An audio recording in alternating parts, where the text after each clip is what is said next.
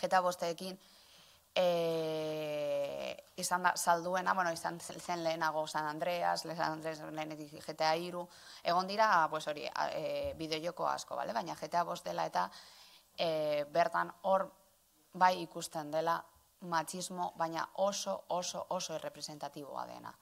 Emakumeon rola bakarri da edo prostituta izatea, edo bertatik pasatzen dena, eta gainera bertan gertatzen dena da, zuk erasatu aldezakezu edo zein emakume, baina prostituta bazara adibidez, pues hori, egite sexu harremanak mantentzen dituzu, gero kotzetik kanpo joaten da, eta gero harrapatu aldezakezu emakumea, eta eman diosun dirua berriro eskuratu.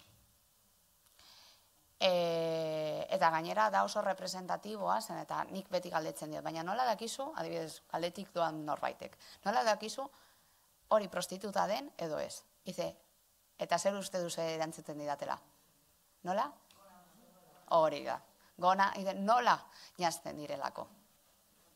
Begira zer, zer barneratzen duten. Claro, ze, eren, azken finean, hor dago, oza, eta, eta egia da, gero eta gona motzago eramaten badote, ordan badakizu prostituta batela, eta gainera egin aldezakezun denetari berarek, berarekin. Hauek dira batez salduenak, orduan, nola sentituko dira ondo neska bat horrelako espazio batean. Pues, eske ez dira ondo sentituko.